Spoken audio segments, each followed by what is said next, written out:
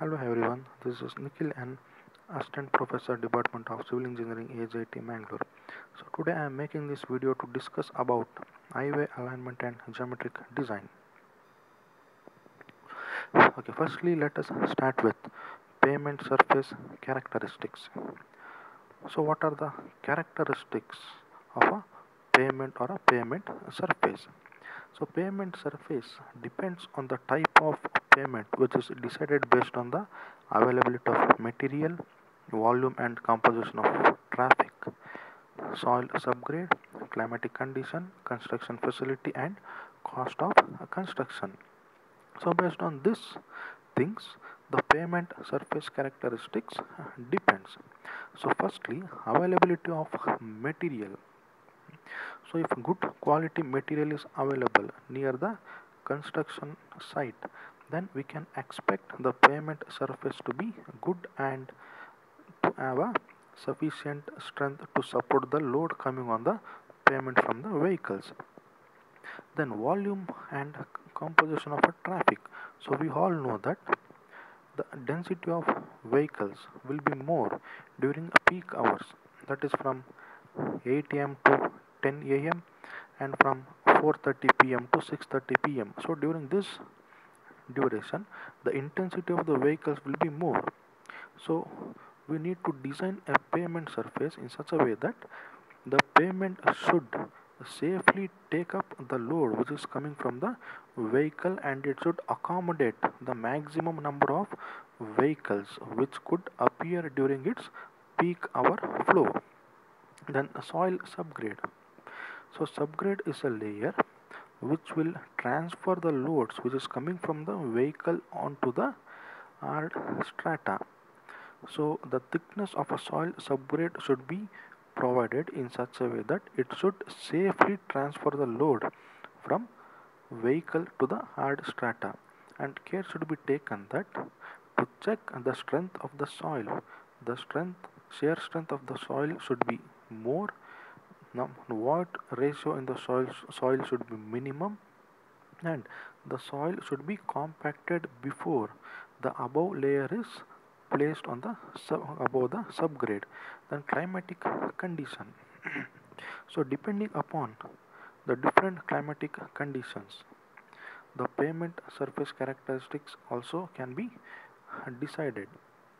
If we consider a rainy season if there is extreme rainfall the water will flow on the pavement surfaces.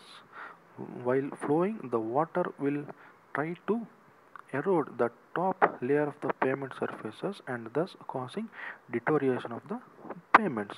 And during extreme high temperature if it is a bituminous pavement the top layer of a bituminous pavement due to high temperature will start melting and when the vehicle moves over this melted bituminous layer the bituminous layer will stick to the wheels of a vehicle and thus causing deterioration of a pavement. And this in turn results in the form of potholes. Then construction facility. So if we use a modern technique in the construction of pavement surface the pavement can last for long time compared to the conventional method of construction. Then cost of construction. So cost of construction also has its influence on the pavement surface. If the cost of construction is low then a engineer or a contractor can provide a good quality pavement surface.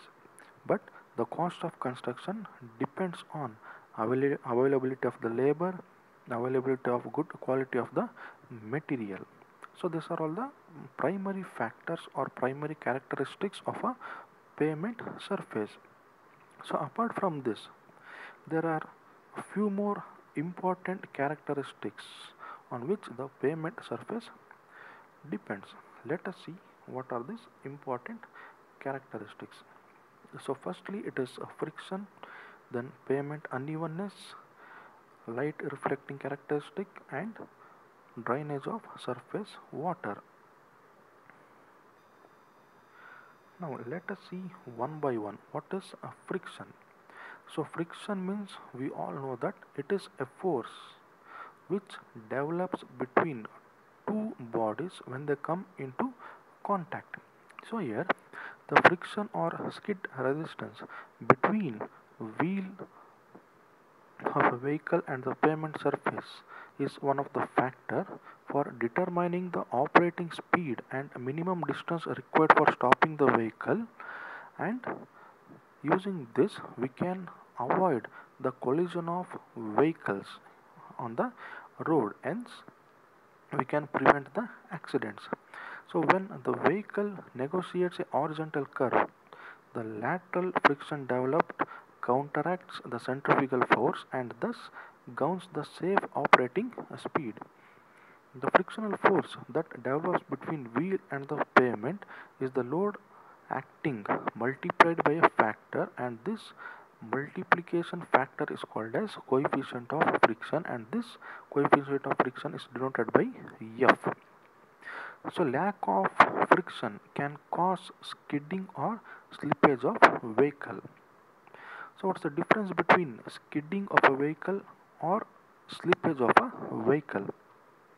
So when the path traveled along the road surface is more than the circumferential movement of a wheel due to their rotation, it is called as skidding. When a wheel revolves more than the corresponding longitudinal movement along the road, then it is called as slipping. So here the friction or skid resistance is dependent upon some factors. So what are the factors?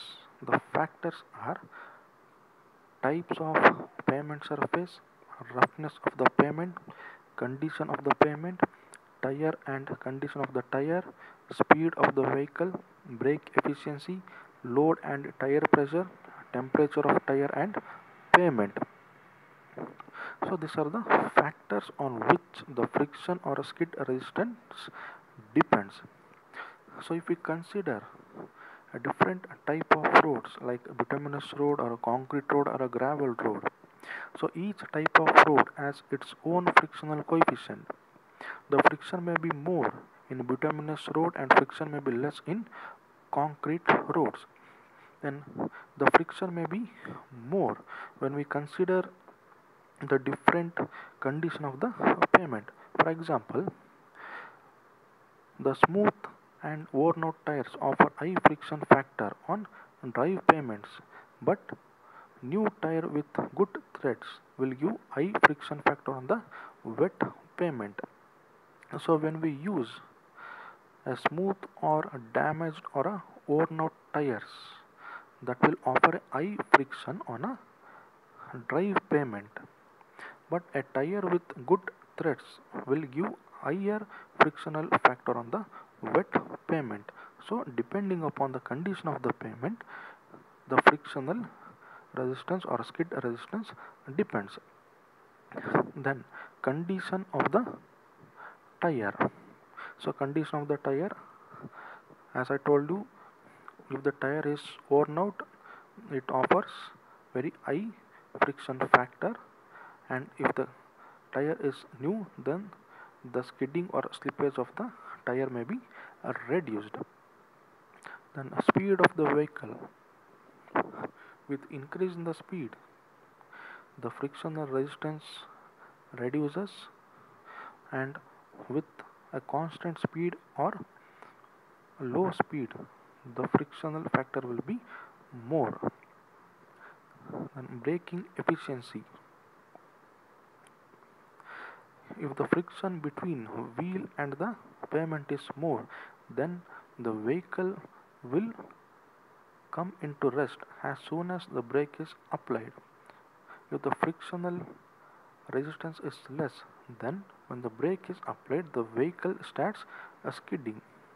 Similarly when the vehicle is fully loaded the friction will be more between the contact surface between wheel and the pavement and when the temperature of a tire is high the friction will be more therefore the skidding of the vehicle may be more so these are the factors on which the frictional coefficient or skid resistance depend. So here as per the IRC recommendation the longitudinal coefficient of friction varies between 0.35 to 0.4 and lateral coefficient of friction is 0.15. Now coming to the second characteristic of a pavement that is pavement unevenness. So what is a pavement unevenness? If the pavement is not as not having a even surface, if the pavement is having undulations, then it is called as unevenness. So higher operating speed are possible on even surface than uneven surface. So the presence of undulations on the pavement surface is called as pavement unevenness which results in discomfort and fatigue to road users then which reduces the speed of vehicle which increases the operating cost of the vehicle. This unevenness of a pavement increases consumption of fuel and the unevenness of a pavement can cause wear and tear of a tire and other moving parts. So here the unevenness of a pavement can be measured by equipment called as bump integrator so bump integrator is a cumulative measure of vertical undulations of the pavement surface recorded per unit horizontal length.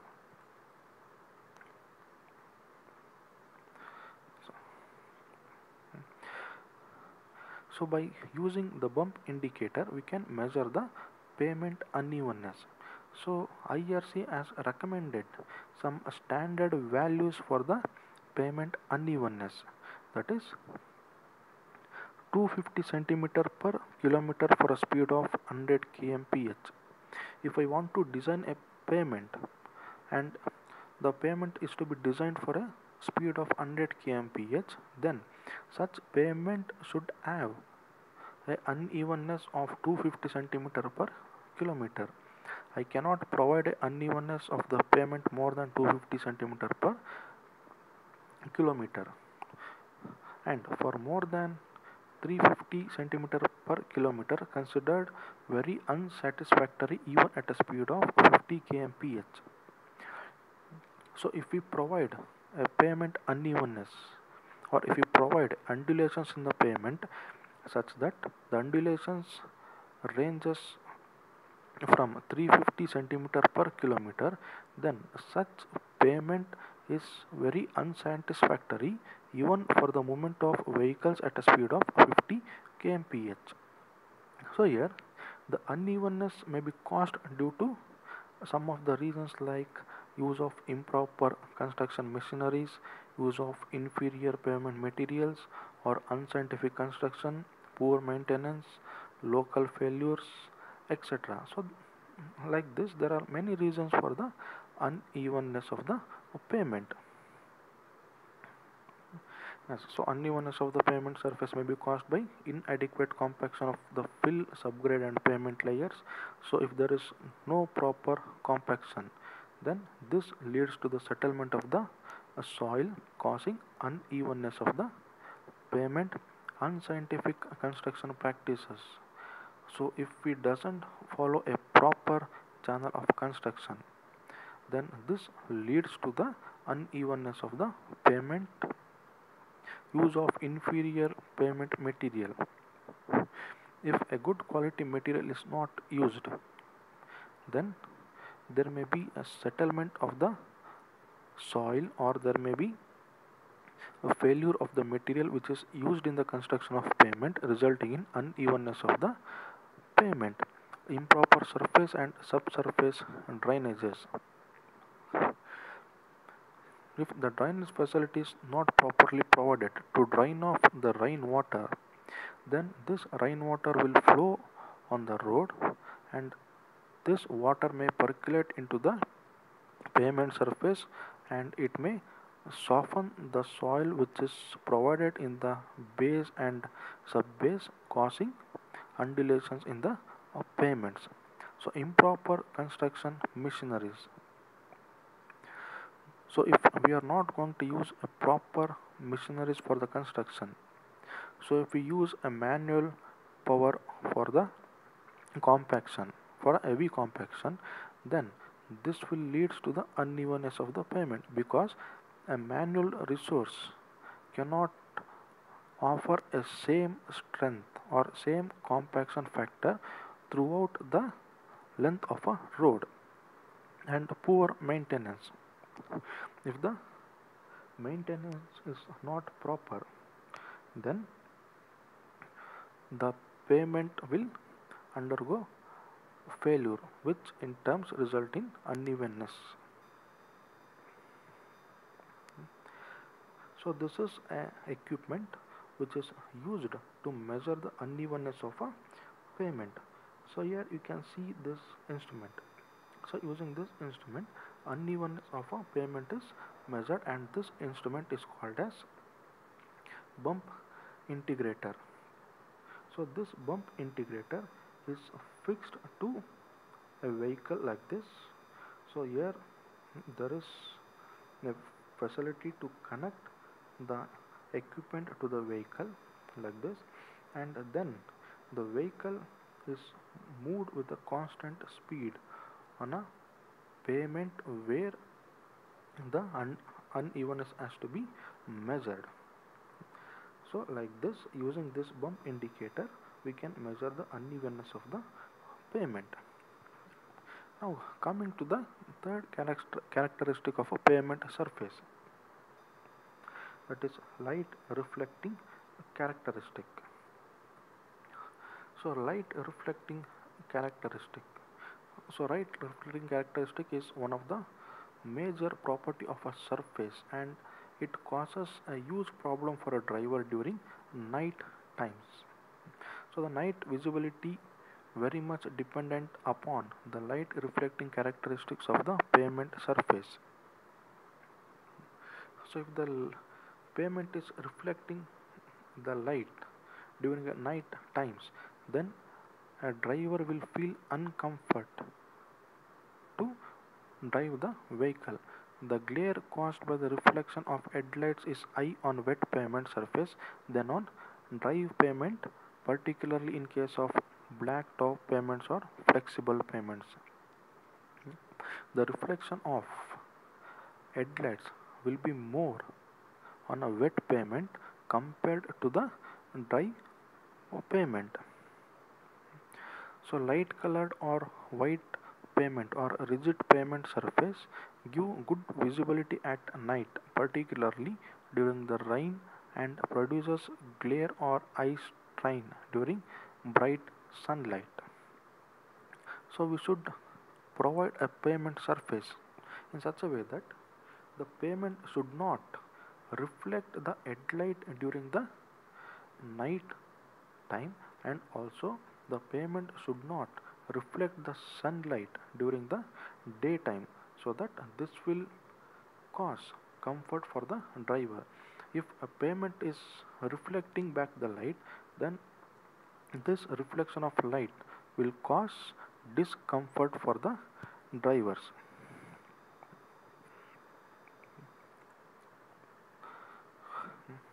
So next let us see what are the uh, parts that will come in the construction of highway.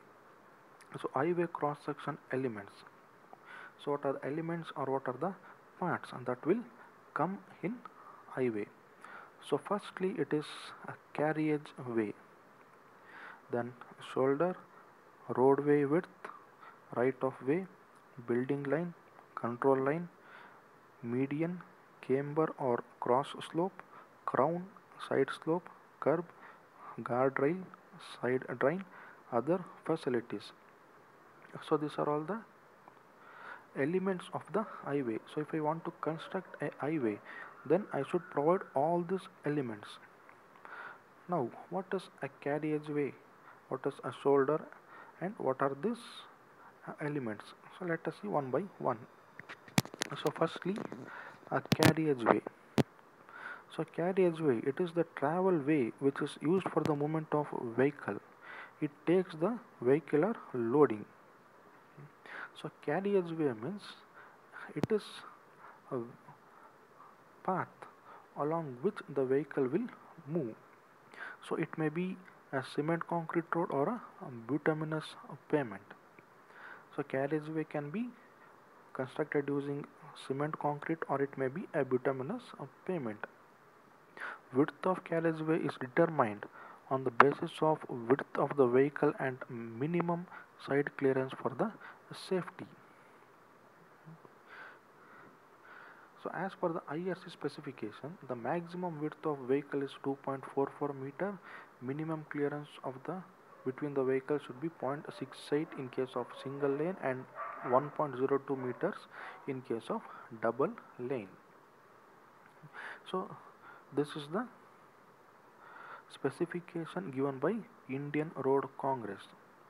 That is the width of carriageway is decided based on the width of the vehicle.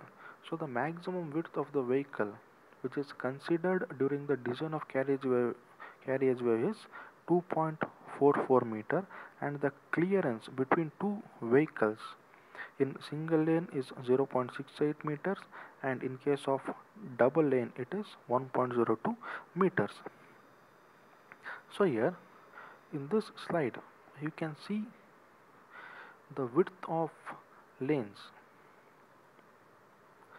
for single lane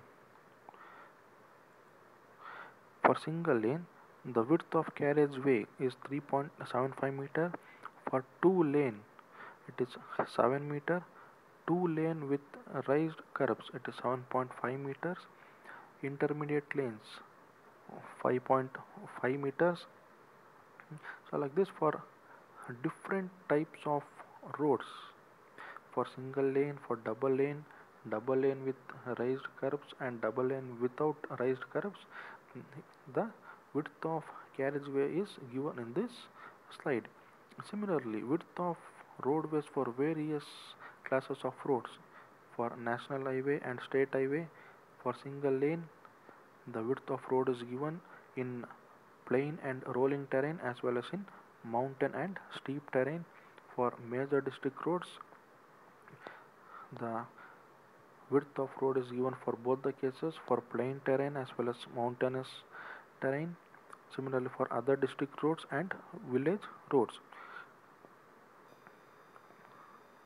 so here we can see in this slide we can see a two lane two way road so it is a two way road so the distance between this marking from year to year is called as a carriageway through which the vehicles will move. So the next is shoulder. So what is a shoulder? So it is provided along the road edges to serve as an emergency lane for the vehicle. So shoulder we can see on side of a roads so it is provided as an emergency lane for the vehicles so sometimes the vehicle may be the vehicle may get breakdown there may be collision between two vehicles. So in such cases these vehicles will be kept on this shoulders. So it acts as a service lane for vehicle that have broken down. The minimum shoulder width of 4.6 meter so that a truck stationed at the side of the shoulder should have a clearance of 1.85 meter from pavement edge. So the minimum width of the shoulder should be 4.6 meter because when a truck is parked on this shoulder then there should be a clearance of 1.85 meter from the pavement edge so that the regular traffic flow is not interrupted from the vehicle which is parked in the shoulder.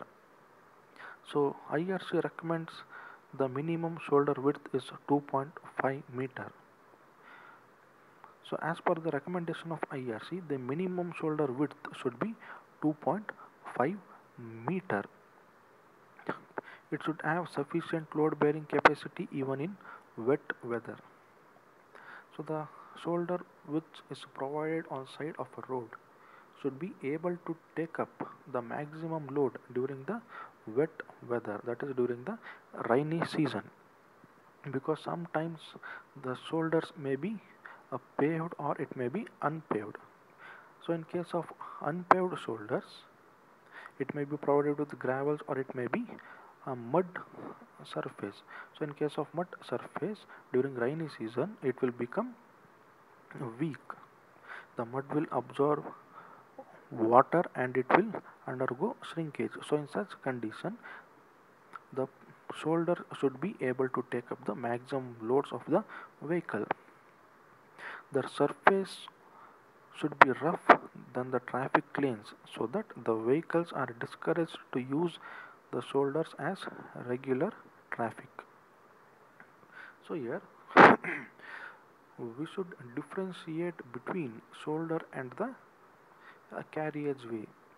The top surface of the shoulder should be made rough so that the traffic is not entertained to enter this shoulders.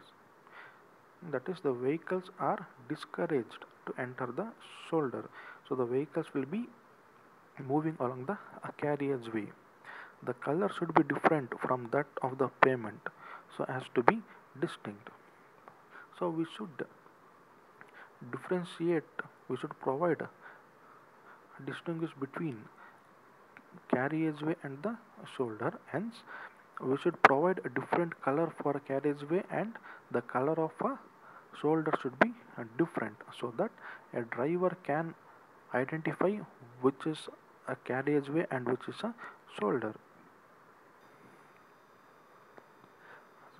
As in this picture we can see a carriageway and a shoulder in the first picture. So here you can see it is a carriageway and it is a shoulder which is a paved shoulder. Here it is a paved shoulder. And if you observe this there is a difference in the color between a carriageway and a shoulder. The color of shoulder is dull compared to that of a carriageway. Yes in this slide you can see a shoulder which is a treated and a shoulder which is untreated. So here this is a carriageway from here to here and we can see this arrow mark. This one it is a shoulder and it is a treated shoulder. That is that shoulder is provided with bituminous surface and here on the other side this is this is a carriageway and here the shoulder is untreated. That is the shoulder is not provided with the bituminous layer and it is called as untreated shoulder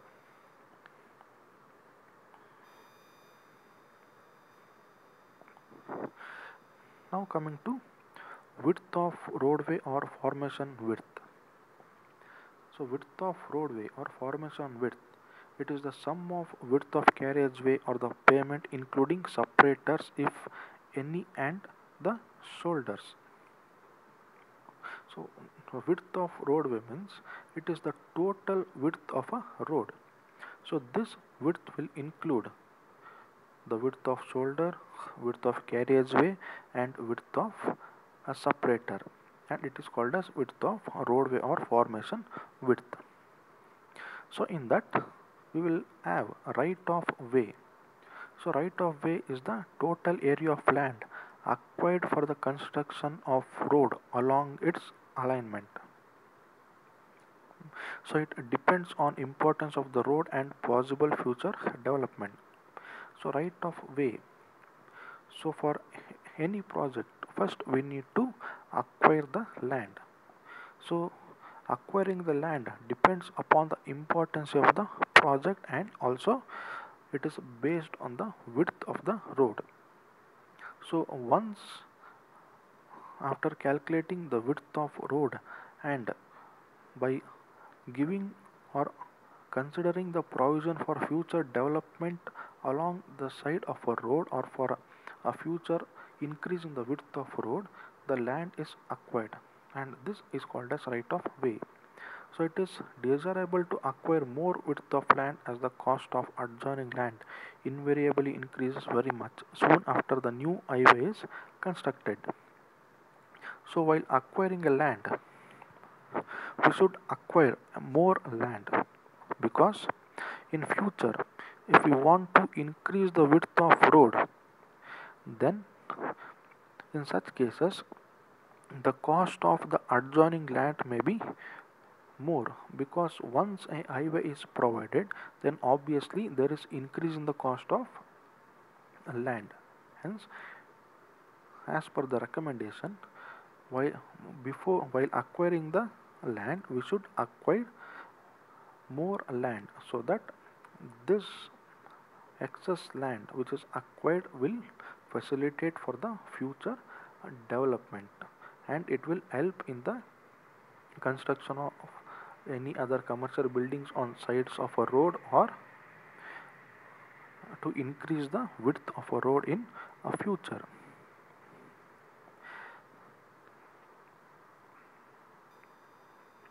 then building lane. So in order to reserve sufficient space for future development of road it is desirable to control the building activities on either side of the road boundary beyond the land width acquired for the land. So here we should take care of the building activities which may take place on either side of the road boundary so the restriction of constructing the buildings on either side of road is called as building lane. So here they will give a marking for a road such that any building should not be constructed beyond that markings. So the building should be away from that marking. It is called as building lane. And line control lines or lines of control.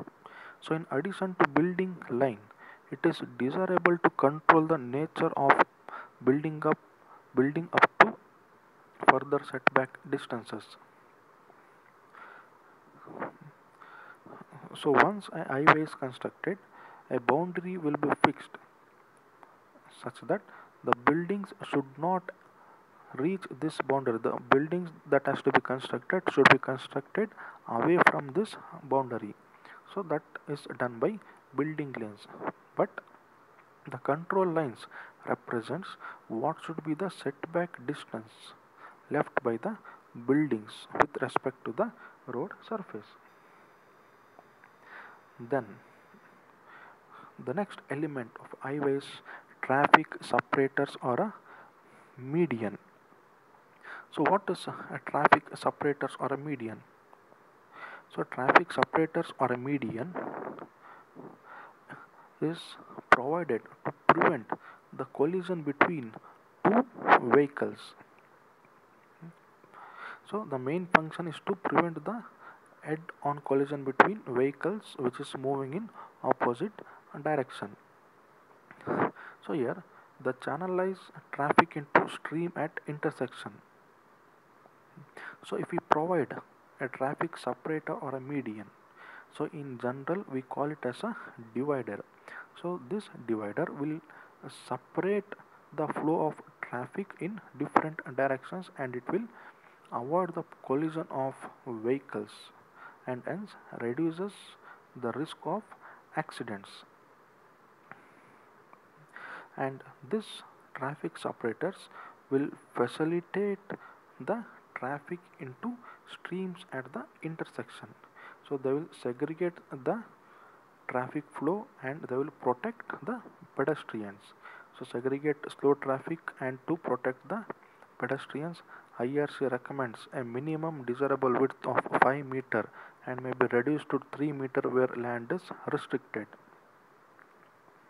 So the width of the divider or a traffic separator or a median as per IRC recommendation may be 5 meters Suppose in case of restriction in the land, then the width of this traffic separators can be reduced to 3 meters. The minimum width of median in urban area is 1.2 meters. So the width of median in case of national highway or state highway may vary between 5 meters to 3 meters whereas in case of urban areas urban areas the traffic separator width or a median width may be 1.2 meter. As in this slide you can see a divider or a median or a traffic separator.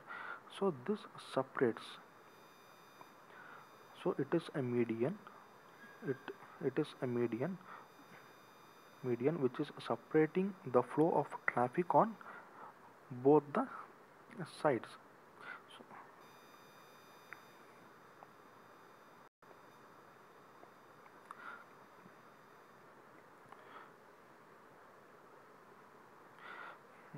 Okay next coming to cross slope or a camber so camber it is the slope provided to road surfaces in the transverse direction to drain off rain water from the road surfaces. So whenever the rain water enters the pavement surface, the water has to be drained out of the pavement in order to provide a drainage of water we are going to give a slope on either side of a road and this slope is called as camber. So the camber is provided to prevent the entry of surface water into pavement, to prevent the entry of water into bituminous pavement layers, to remove the rainwater from the pavement surface as quick as possible. Hmm. So why we need to remove the water from the pavement surface. Because if the water starts penetrating into the pavement surface then this water will interrupt the strength of subbase and subgrade thus causing failure of the pavement. Hence to drain off this rainwater or surface water which is coming on the pavement surface we are going to provide a cross slope which is called as camber so generally the camber is expressed in percentage as 1%, 2% or 3%. So the slope or camber can also be expressed in terms of ratio of vertical to horizontal ratio. So like 1 in vertical and 2.5 in horizontal. So like this it can be expressed in terms of vertical to horizontal ratio. So it depends on the pavement surface and amount of rainfall. So the cross slope depends upon the pavement surface and amount of rainfall. If the rainfall is more then in such places the camber or cross slope should be more quickly drain off the rainwater which is coming on the pavement.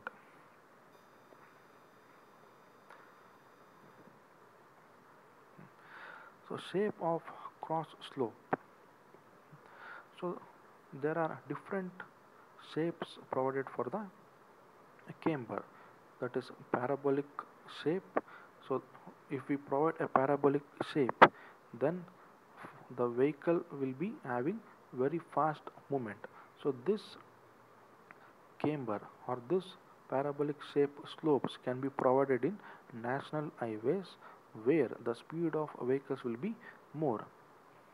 Then shape of the cross slope or camber will also be in the form of a straight line or it may be combination of parabolic and straight line.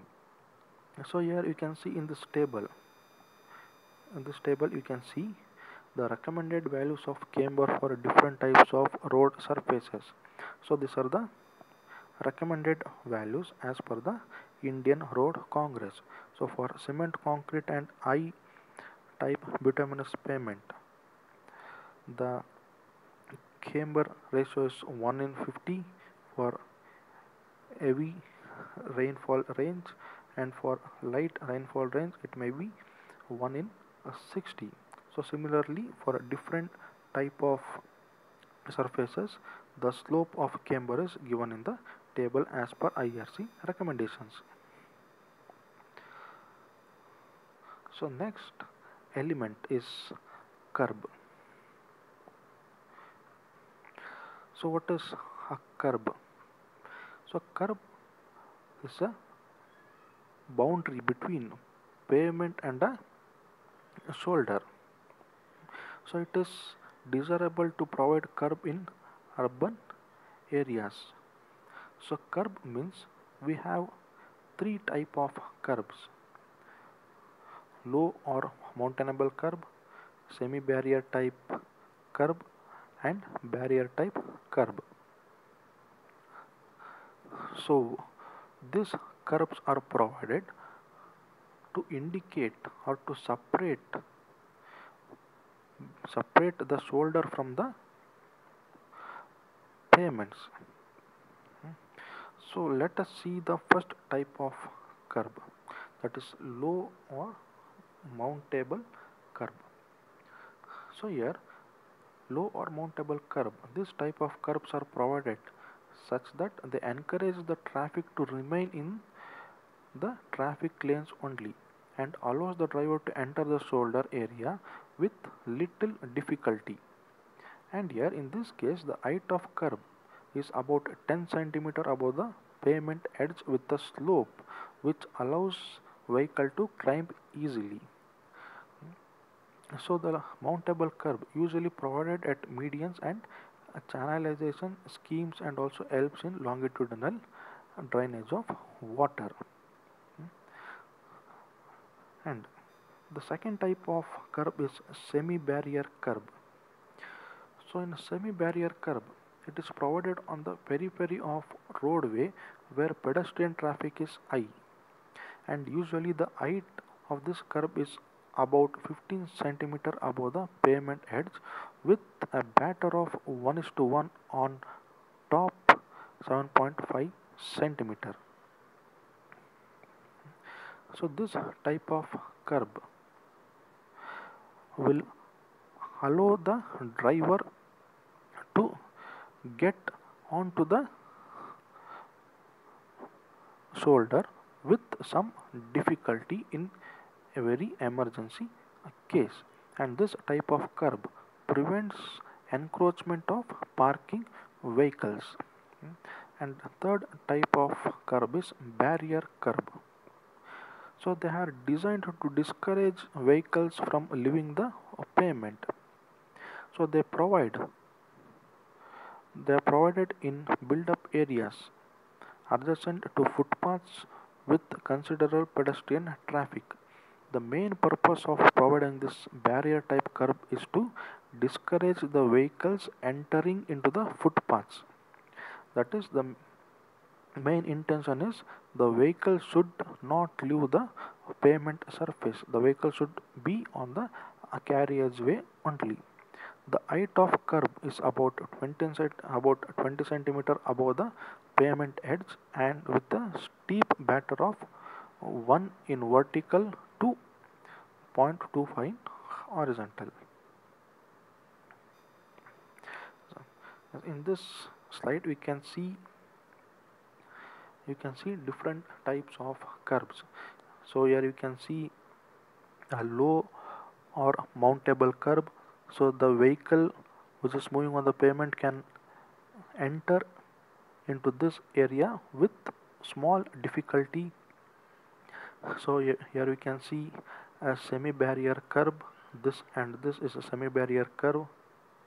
And it is a barrier curb where the the vehicle moving on the pavement is discouraged to enter this curb whereas in this and this case in this and this case the vehicle can enter or the vehicle can leave the pavement and climb the curb with some difficulties.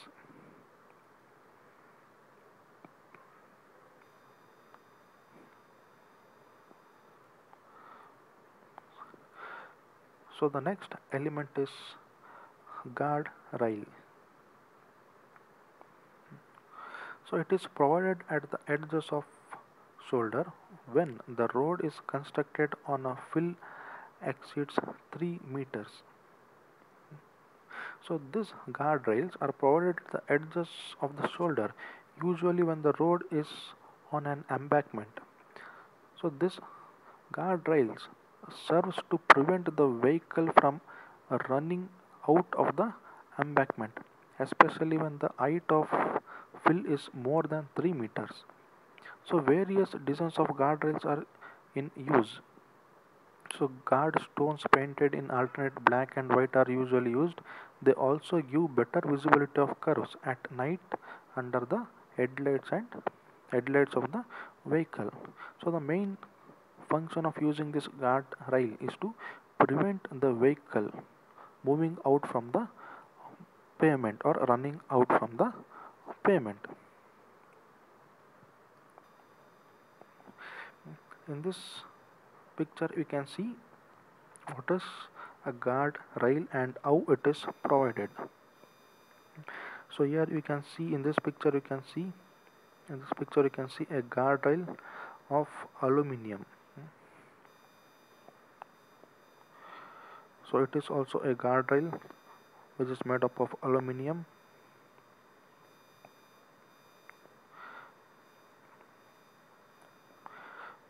so it is also a guardrail which is made up of a concrete.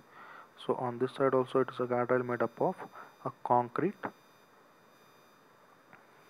So these guardrails are provided when the height of road is more than 3 meters.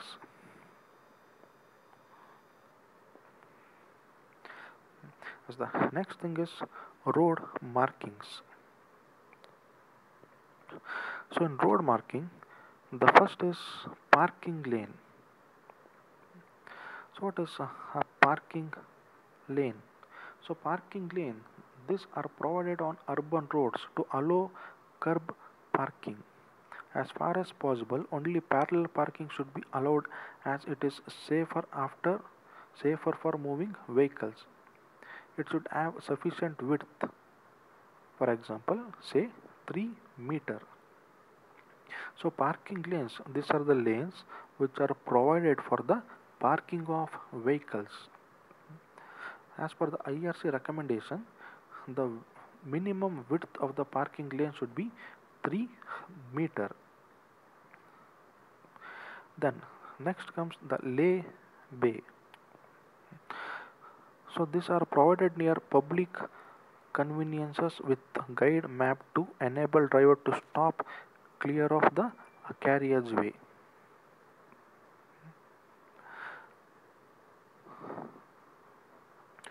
So these are provided in the public areas so that the driver can stop the vehicle and he can allow the passenger to get down without disturbing the traffic flow or without interrupting the vehicles moving on the carriage way. So it has 3 meter wide, 30 meter length with 15 meter end tapers on both sides. So the width of this lay bay will be 3 will be 3 meters and length will be 30 meters with 15 meters end tapers.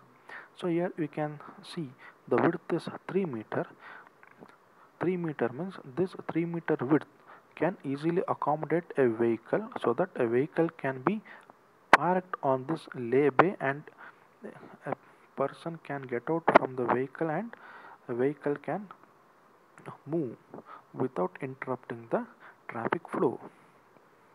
Then bus bays so this bus bays are provided by recessing the curbs for bus stops. They are provided so that they do not obstruct the movement of vehicles in the carriageway. They should be at least 75 meters away from the intersections so that the traffic near the intersections is not affected by this bus bays so bus bays means usually it is provided near the bus stops near the bus stops a special provision is made for the parking of uh, buses which will not interrupt normal traffic flow and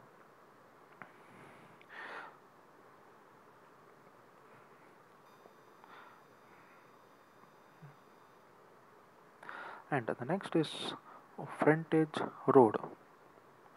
So frontage road these are provided to give access to properties along an important highway with control access to express or freeways so frontage roads are provided to give access to the properties but these are separated from the expressways so the frontage roads may run parallel to the highways and are isolated by a separator. These roads are separated by a uh, traffic separated or a median so that these roads will be parallel but it is not connected to the highways. So driveways it connects the highway with commercial establishment like fuel station, service station, etc it should be located away from the intersection. So driveways connect highways and commercial establishments like fuel station, service station, etc. So driveways should be properly designed and located so that these driveways will not disturb the traffic flow and this driveways should be fairly away from the intersection and the radius of the driveway curve should kept as large as possible but the width should be minimized to reduce the crossing distance of pedestrians. So next is a cycle track. So tra cycle tracks are provided in urban areas when the volume of cycle traffic is high. Minimum width of 2 meter is required. So this cycle tracks are provided in urban areas and the minimum width that we should provide for a tra cycle track is 2 meter.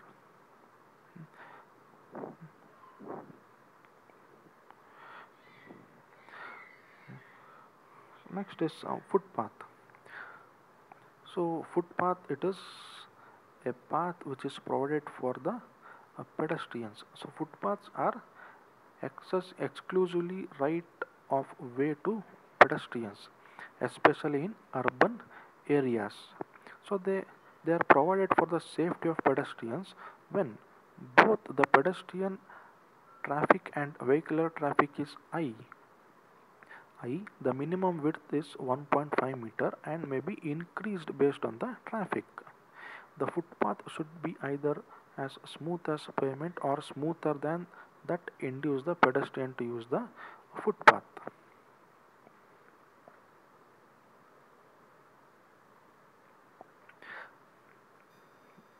So in this slide we can see uh, different highway elements. So here you can see uh, lay bay the width is usually 3 meters and the length will be 30 meters where. The ends will be tapered for 15 meters on either side. Here you can see the tapered length to 15 meter.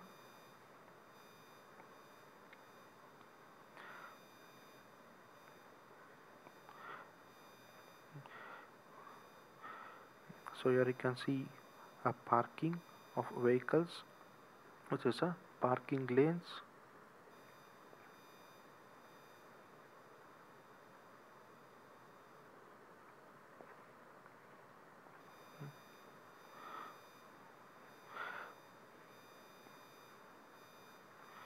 So again here it is a lay lay bay which is having a width of uh, 3 meter and the end of this baylay is tapered to 15 meter.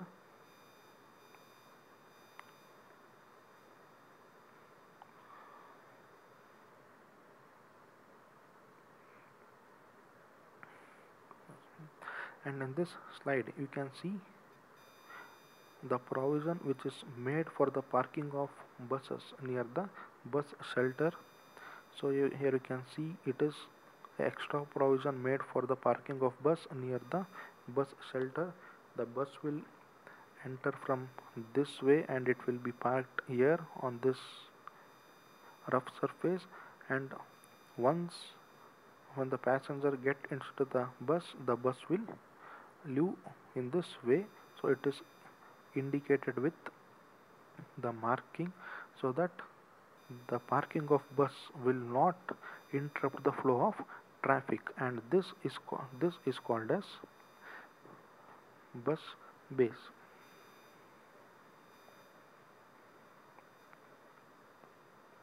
So frontage roads these are the roads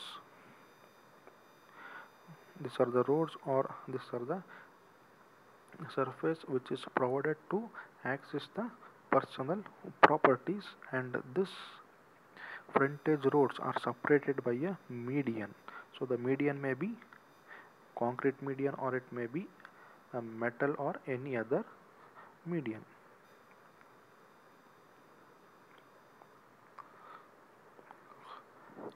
So in this slide you can see the cross section of a road. So it is a cross section of highway in hilly areas. So this dotted line this dotted line represents a natural ground profile. So the natural ground profile is converted into the highway by cutting and filling. So here in this portion we can see the earth is removed excavation it is a cutting portion.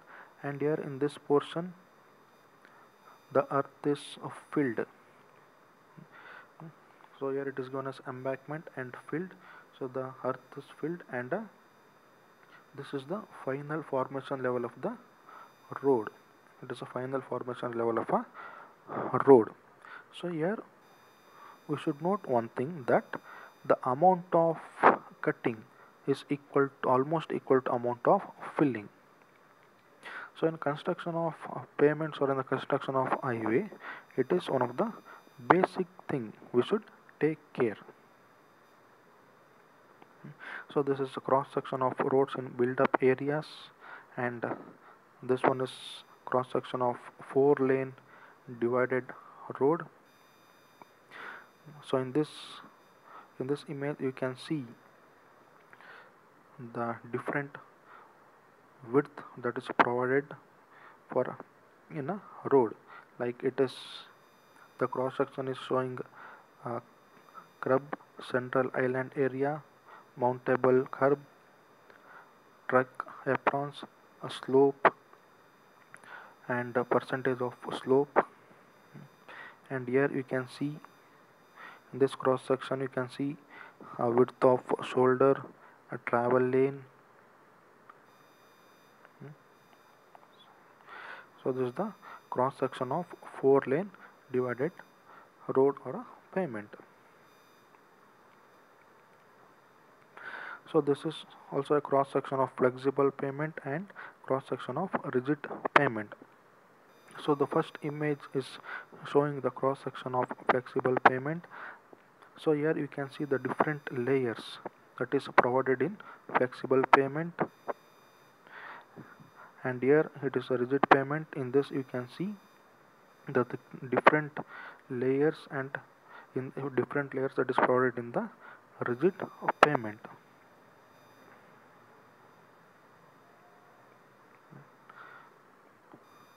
so this is a highway which is showing the different elements of a pavement.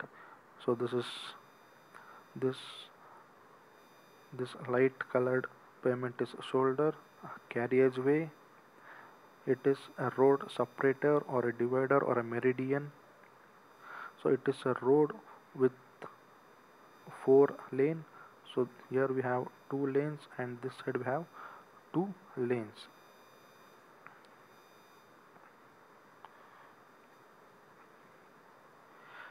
so cross section of road cutting. So it is showing the width of each lane. So it is a two lane pavement. The width of one lane is 3.5 meter 3.5 meter and 2 percent it is the camber slope and it is the drainage with a slope of 2 to 1 cutting